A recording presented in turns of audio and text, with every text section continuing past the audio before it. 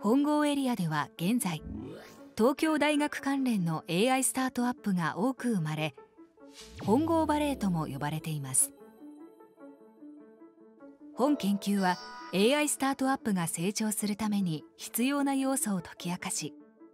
本郷を起点に AI 産業を発展させることを目的としています。本研究では AI スタートアップの集積が進むカナダ・トロントをはじめとした海外都市におけるスタートアップエコシステムの人的ネットワークを可視化し分析していきます。この時着目するのがコミュニティのつながりが生み出す価値関係性資産です。つながりの中から経営資産をあの獲得していくというのが、まあ、スタートアップの特徴なんですよね。それを関係性資産っていうんですけどもそれが業績に最も大きく効くっていうのが分かってます。でそういう意味で集積がこう発展していく過程で関係資産をもたらすネットワークの特徴というものがどういう特徴があればいいのかというところに着目したいっていうそういう観点ですね。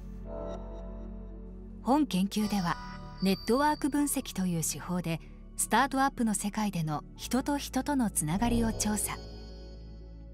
スタートアップの成長性を促進するネットワークの特徴を分析していきます。例えば必ずしもコミュニティの中で中心性の高い人だけが重要なのではなくその周りに重要な役割を果たす人がいるのではないかという仮説のもとスタートアップが真に形成すべき関係性資産を解き明かしていきますこのままうまく発展していくとあの世界的にその AI のあのスタートアップの集積が